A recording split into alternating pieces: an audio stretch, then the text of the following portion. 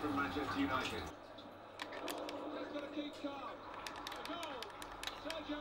Everyone who I look up to now is a footballer. All my idols are footballers. Most of them play for United. Just growing up watching them, that's just like what you want to be, what everyone, what every boy wants to be really.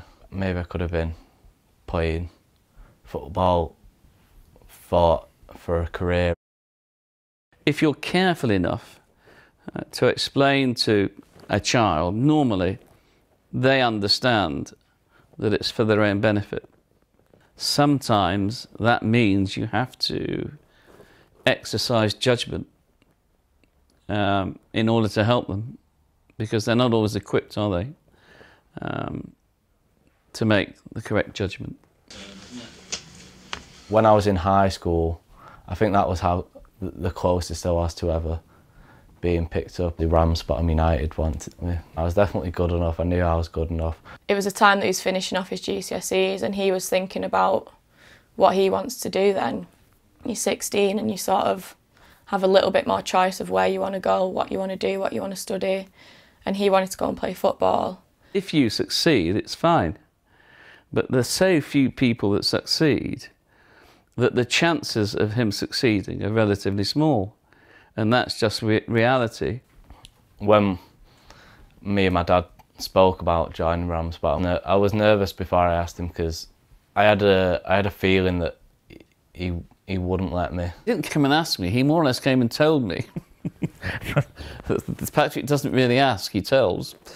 Um, he told me that that's what he wanted to do and that he was going to do it. And um, I was quite shocked by this. We spoke for about 10 minutes just about, I think we argued a bit as well. I think we were shouting a bit about what I wanted to do rather than what he wanted to do. I had to put my foot down really and say, no, that's not what you're going to do.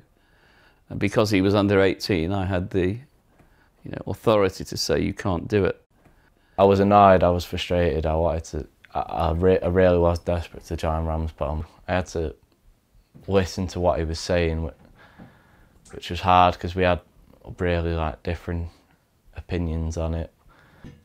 It was a big opportunity missed, I think. When someone wants to do something that makes them so happy, then why would you stop them doing it? But then at the same time, why would you send your 15 year old, 16 year old son off to play for this club that isn't like a top amazing club when my dad probably knows that he doesn't know what's going to come of it?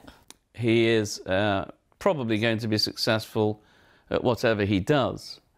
But football's different in my view. Um, my experience of football was um, that it is so unpredictable and so difficult to succeed that he would be very disappointed probably. My dad used to play professionally when he was younger. He was I've heard so many stories about from my uncles and from my dad's friends about how good he was. I was an exceptionally good footballer in terms of skill and I was being sought after by second division clubs. It was either football or law and the teachers told my nana that he had to do law. My nana has listened to these teachers and thought like right he's and carry on with his, with his education. It was a combination of my mother and the Catholic school but I still think that they made the correct decision for me. He loves football just as much as me, so yeah, he definitely would have wanted to do that as something that he can just do for a profession. Our parents both sort of got in the way. The situation was just so similar. How did you feel at the time? Terrible. Terrible. Knowing how it made you feel, was it hard telling Patrick the same? Absolutely. It's so difficult. Well, uh, if somebody's got a dream, how do you tell them not to pursue it? It's a difficult parental thing to do. And there's always the prospect that you're wrong. If I'd have had my choice at 15, I would have gone off and played football uh, at the expense of my education, which would have been almost certainly the wrong decision for me. I am a successful lawyer and I've done very well out of life. At the end of the day, it still could be like a better decision for me to not join Ramsbottom and play for them. But now it is frustrating. Now all my friends are playing for the first team, training with the first team, playing like a high level of football. Do you love him despite all this? Obviously, yeah, I love my dad.